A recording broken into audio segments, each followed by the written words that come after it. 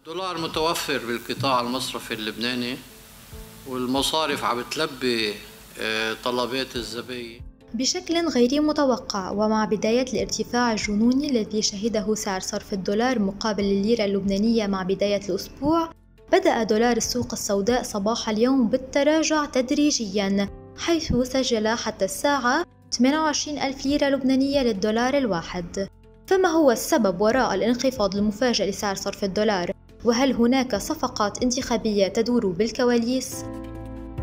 بهمنا هو آه، فعلا السيولة بالدولار اللي موجودة بالقطاع المصرفي وهالشي منأكد عليه إنها موجودة أشار الخبير الاقتصادي نسيب جابرييل لموقع النشا أن التعميم 161 كما مختلف التعميم السابقة صدر للجم تدهور سعر صرف الدولار في السوق الموازية والذي شهد ارتفاعا كبيرا في الأسبوعين الأخيرين ولفت جابرييل إلى أن كل التعميم والقرارات التي يصدرها مصرف لبنان تهدف إلى لجم تدهور سعر الصرف ولكنها تبقى تدابير مرحلية مؤقتة وهي في الواقع تستنزف الاحتياطي بالدولار لدى المصرف المركزي.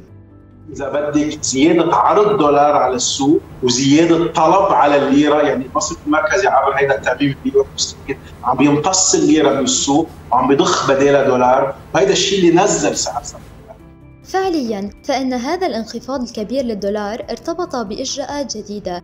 أحدثت خضة كبيرة في السوق ووفقا لمعلومات موقع لبنان 24 فإن العديد من المصارف بدأت بمنح الأفراد والشركات دولار الفريش بشكل مباشر وبمبالغ كبيرة. وبحسب معلومات موقع لبنان 24 فإن أحد المصارف الكبرى سمح للشركات فقط بإيداع أموال بالليرة اللبنانية في الحسابات الخاصة بها. ومن ثم تحويل تلك الأموال إلى دولار وفق سعر منصة صيرفة.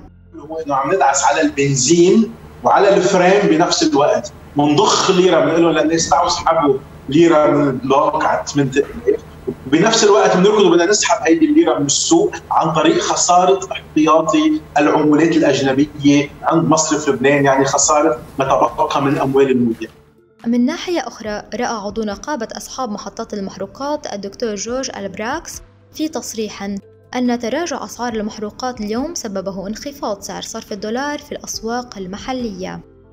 وتزامنا مع الانخفاض الملحوظ لسعر صرف الدولار في السوق السوداء وانخفاض سعر المحروقات. يبدو أن سعر ربطة الخبز أيضا سينخفض.